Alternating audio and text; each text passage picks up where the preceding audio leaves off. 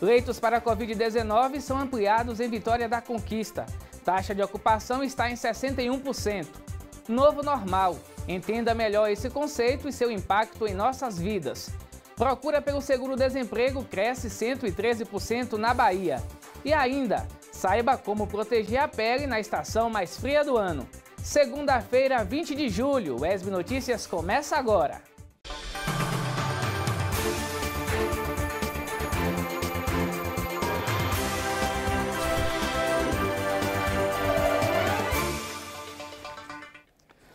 Olá, tudo bem? Seja bem-vindo ao ESB Notícias, informação, formação e conhecimento.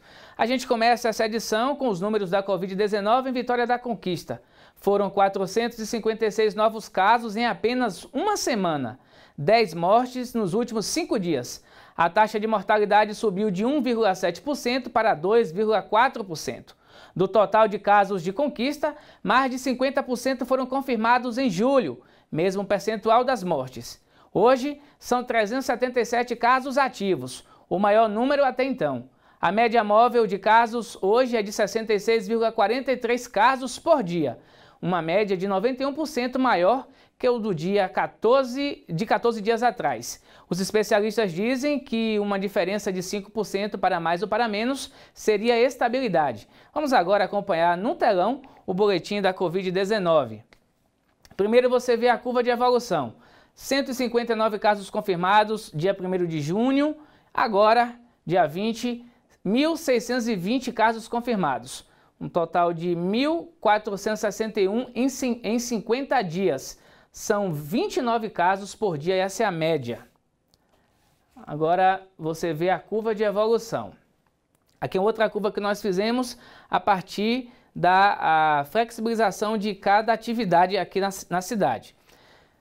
Quando o comércio abriu, eram 262 casos. A curva continuou subindo e aí na segunda semana, que o comércio continuou, a outra parte do comércio também abriu, foram para 361 casos. Continuou subindo, aí teve uma alta de 37%. Quando as igrejas abriram, eram 491 casos e continuou subindo, é aí uma alta de 36%. Na sequência, aconteceu a liberação de bares e restaurantes. Nisso daí, já tínhamos 645 casos, mais uma alta de 31%. Na primeira semana dessa abertura de bares e restaurantes, já tínhamos 912 casos, uma alta de 41%. E agora, com a liberação das academias, tínhamos 1.155 casos, uma alta de 26%. E com uma semana dessas, academia, dessas academias abertas, fomos para 1.620 casos, uma alta de 40%. É a curva da Covid-19 só aumentando aqui em Vitória da Conquista. Agora esse é o boletim de ontem, dia 19, mil, ou melhor, 13.366 casos notificados, 13.273 era dia 18, era um dia 18, casos confirmados, 1.620, sendo que desses casos confirmados, 504 foram confirmados por laboratório, 1.116 confirmados por testes rápidos, 6.123 casos descartados, 4.737 casos em investigação, 377 em recuperação, 1.210 recuperados e 33 óbitos. Agora a gente vê a distribuição de leitos. Isso aí é dados da CESAB e da Prefeitura. Hospital Geral são 60 leitos, 30 clínicos de adulto e 30 de UTI adulto. No Hospital São Vicente são 35 leitos, 25 leitos clínicos adulto e 10 leitos UTI adultos. 40 leitos no Hospital de Clínicas, o HCC, 20 leitos clínicos adulto e 20 leitos UTI adulto. O índice de ocupação é, esses aí são dados da Secretaria Municipal de Saúde aqui de Vitória da Conquista. 70 leitos de UTI, desses leitos de UTI, 71% já estão ocupados. Leitos clínicos são 66 e com 50% ocupados. Agora, é o índice de ocupação de leitos, dados fornecidos pela CESAB. 60 leitos de UTI na cidade, sendo que desses 60 leitos, 72% de UTI, são esses 60 leitos de UTI já estão ocupados. Leitos clínicos são 66, sendo que 51% já estão ocupados. Temos agora o índice geral da ocupação de leitos aqui em Vitória da Conquista. Índice geral juntando leitos clínicos e de UTI. 135 leitos, uma ocupação geral de 60%. 81 pacientes já é, encontram-se internados aqui em Vitória da Conquista. Temos mais um? Temos. Temos mais uma, mais uma cartela aqui, que é o índice da ocupação de leitos por hospital. Fonte é a CESAB. 30 leitos clínicos no Hospital Geral de Vitória da Conquista, 43% já está ocupado. 30 leitos de UTI, 73% ocupados. Hospital São Vicente, são 25 leitos clínicos, 60% já ocupados. 10 leitos de UTI, 70% já ocupados. No Hospital de Clínicas, 20 leitos clínicos, 50% já estão ocupados e 20 leitos de UTI, 70% já estão ocupados. Temos mais alguma coisa? Temos não. Pois é. E o Bosque da Paquera, aqui em Vitória da Conquista, vem sendo utilizado por pessoas da região para a prática esportiva. Mas uma academia ao ar livre traz benefícios e prejuízos. Veja na reportagem. Na tradicional Rua da Granja, entre as árvores do Bosque da Paquera, uma academia ao ar livre foi montada. Ela leva o nome de Gaiola do Curió, apelido do responsável pela iniciativa. Sou morador da Granja há muito tempo, há 50, 59 anos, e aí é, pratico atividade física também há muito tempo, já desde 2012. Com essa epidemia, aí eu resolvi fazer essa academia para mim os moradores da Granja. O espaço vem sendo utilizado por pessoas da região para a prática esportiva. Eu acho interessante porque eu passei aqui esses dias, eu estava já em casa já, devido a essa pandemia já quieto, já sem fazer nada, já estava até estressante. Aí eu passei por aqui, vi uma academia ao ar livre, falei, poxa, por que não vir aqui e praticar atividade física aqui mesmo?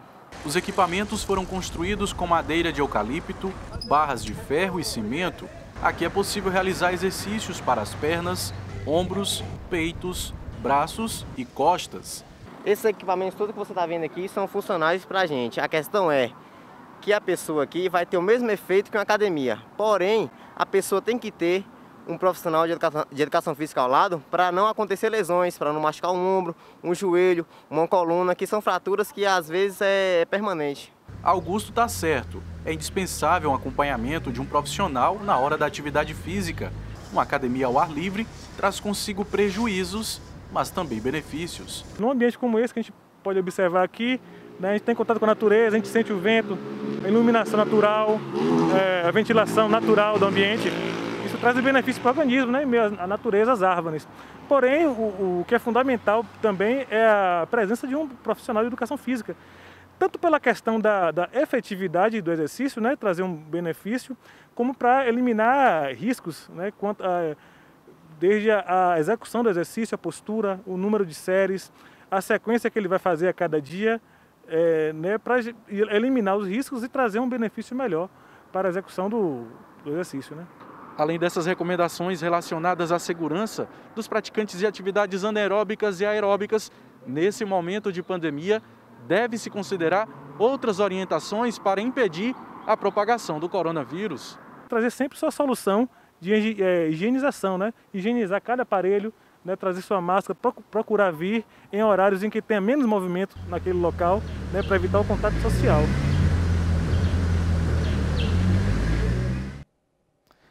E o novo normal é um dos termos que a gente mais está ouvindo nessa época de pandemia.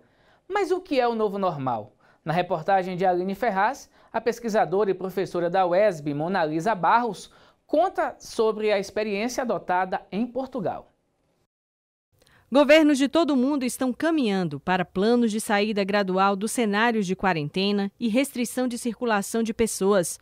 A pergunta que não quer calar: como será esse novo normal?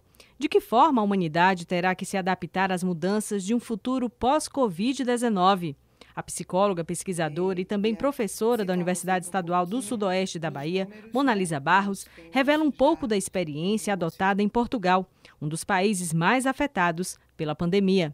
A gente já está vivendo o tal do novo normal. Nos, shoppings, por exemplo, tem a mão, mão e contramão, né, os corredores, você não caminha mais no sentido do que você quiser. Tem alguém observando isso em todas as lojas. Você usa o álcool gel para entrar, não entra sem máscara. No shopping não entra nem no shopping sem máscara. Tem escrito quantas pessoas podem entrar em cada em cada loja. Então, se for uma só, você tem que ficar do lado de fora esperando que as pessoas saiam. É, nos hotéis, né, que já abriram, eles criaram um selo de safe and clean, é, de que esse hotel é seguro. Nós passeamos numa praia fluvial aqui em Coimbra e você via os espaços bem delimitados de dois metros de distância entre cada pequeno grupo. As reuniões é, não estão sendo permitidas, reuniões com mais de 20 pessoas em Coimbra, na região é, de Lisboa não pode mais do que 10. Não há dúvidas de que o digital é o novo normal. Os canais onde as compras são realizadas, as fontes de influência e os diferenciais competitivos estarão fortemente transformados. Na educação, o que se espera também são consideráveis mudanças. Os alunos do 11º e 12º ano, que se equivalem ao segundo e terceiro ano do ensino médio no Brasil, que voltou às aulas, parte das aulas em regime presencial e parte em regime online. A turma foi dividida em duas, era uma turma de 28 alunos, ficou duas turmas de 20, de 14. Eles entravam na sala, assistiam às aulas, trocavam de sala no meio da tarde e voltavam para casa. Na universidade, eh, todo o meu projeto de pesquisa foi reformulado e está sendo conduzido de forma online. Eu não tenho contato, meu projeto é sobre parto, mas eu não tenho contato presencial com as gestantes a palavra adaptação nunca fez tanto sentido como agora. A pandemia alterou a rotina de todos. Home office, conectividade, gestão sustentável, alimentação saudável, medicina em casa. Todas essas ferramentas funcionarão como um passaporte para o futuro. Em meio a tantas incertezas, é certo dizer que o surto de Covid-19, que já matou milhares de pessoas em todo o mundo, acelerou o futuro as coisas estão se abrindo com muita cautela, com muito cuidado, dentro do exame dos resultados epidemiológicos. Então, realmente são os estudiosos da saúde pública que hoje nesse país ditam se vai abrir ou não um comércio, é, como que as pessoas vão se comportar, e isso tem sido efetivamente é, seguido por todos que estão aqui. Bom, agora chegou a hora da previsão do tempo. E vamos ver como é que fica o tempo para a Vitória da Conquista e outras cidades da região. Hoje, Vitória da Conquista amanheceu é, com a garoa, sol entre nuvens. Para terça e quarta-feira, a mínima de hoje é 11, a máxima é de 20, possibilidade de chuva de 60%. Para amanhã, 80% é a possibilidade de chuva em Vitória da Conquista. Quarta-feira também. Vamos ver agora para outras cidades da região.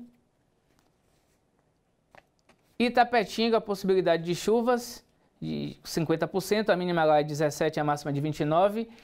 Caraíbas e Jequié, sol entre nuvens, em Caraíbas a mínima é 18, a máxima é 26. Jequié a mínima é 18 e a máxima é de 25. E a seguir, você vai saber do aumento no pedido do seguro-desemprego na Bahia e uma reportagem sobre os cuidados com a pega no inverno. É só um instante, voltamos já.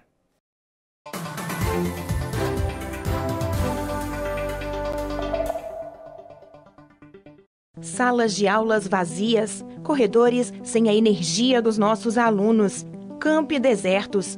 Não foi assim que imaginamos comemorar os nossos 40 anos. Isso mesmo, são quatro décadas de UESB. Olhando para trás, a nossa história de luta e resistência nos mostra que podemos vencer mais essa batalha. Podemos, juntos, superar os desafios desse momento tão difícil.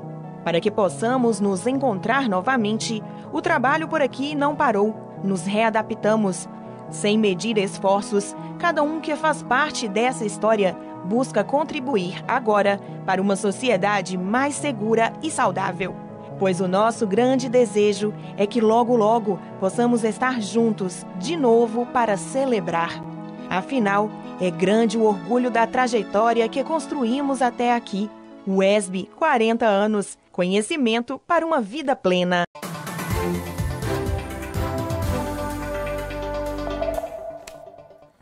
Estamos de volta com ESB Notícias e a gente fala agora sobre o aumento do pedido do seguro-desemprego na Bahia.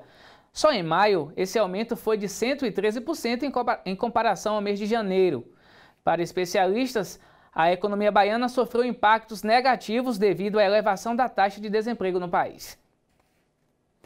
A procura pelo seguro-desemprego no mês de maio aumentou 113% na Bahia, em comparação com o mês de janeiro de 2020.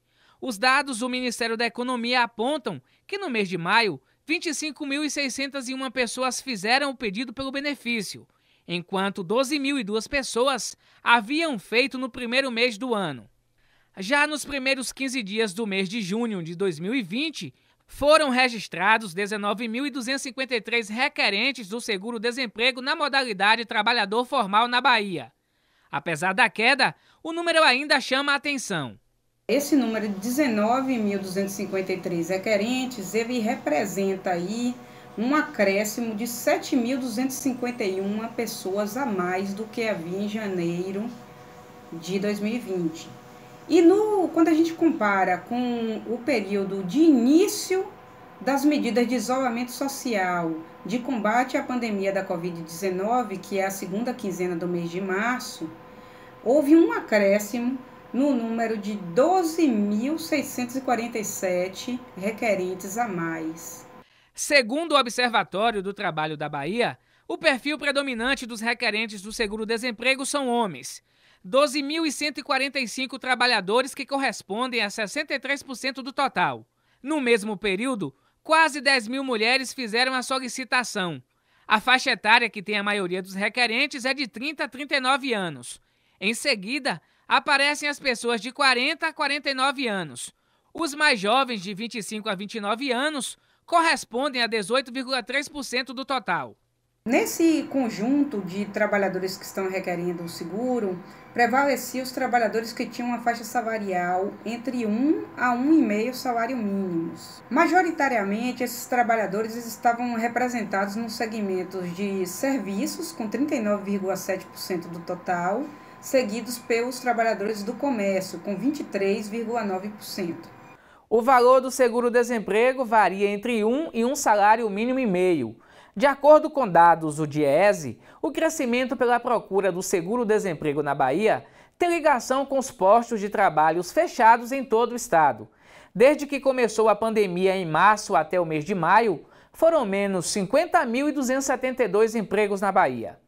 O número de requerentes do seguro-desemprego formal tem correspondência com o expressivo fechamento de postos de trabalho com carteira assinada que vem ocorrendo na Bahia desde o início da pandemia da Covid-19 na segunda quinzena do mês de março.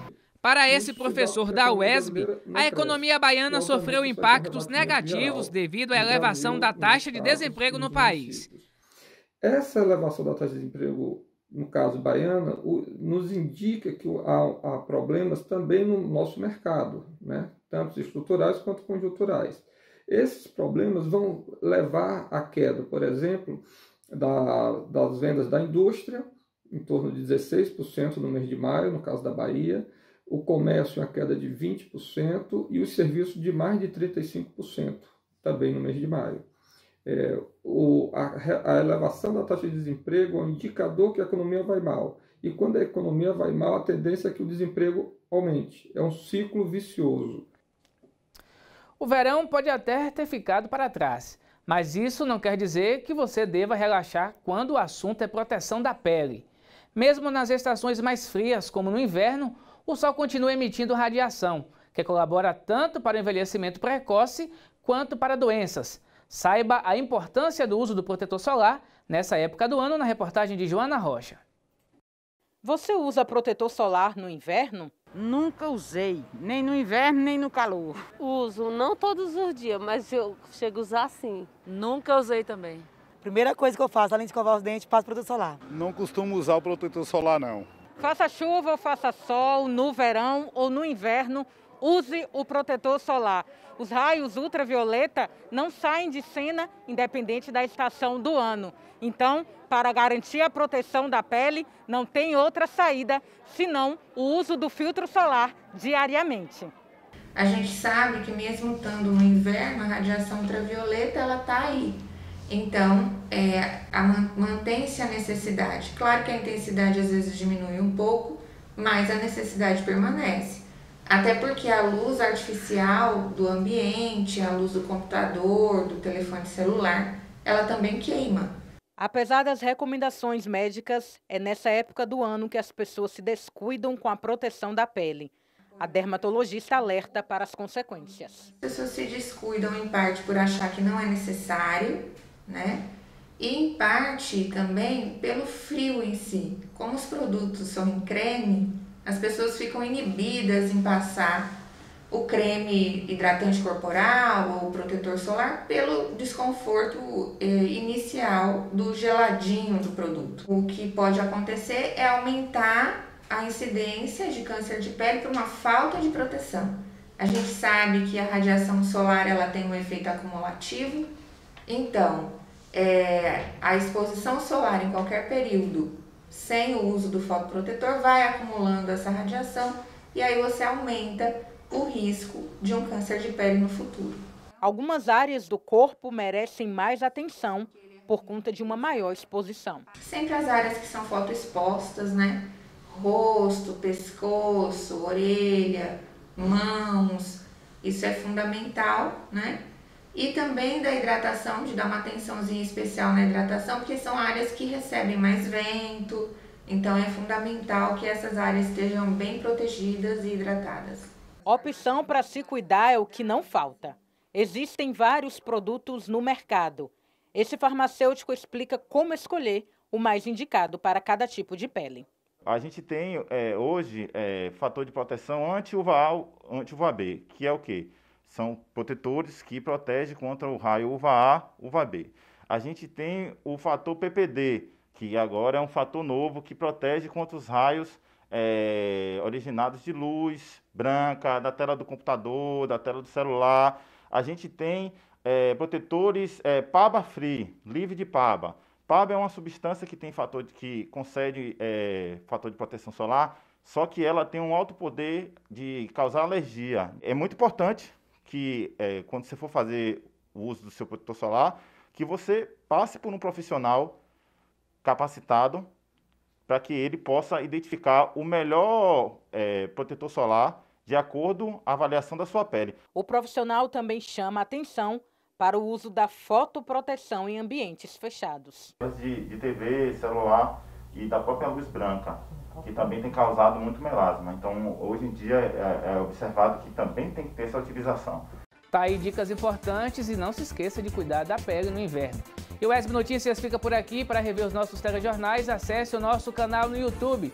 E você pode mandar sua sugestão pelo nosso WhatsApp, 3424-8763. Obrigado pela companhia e até mais.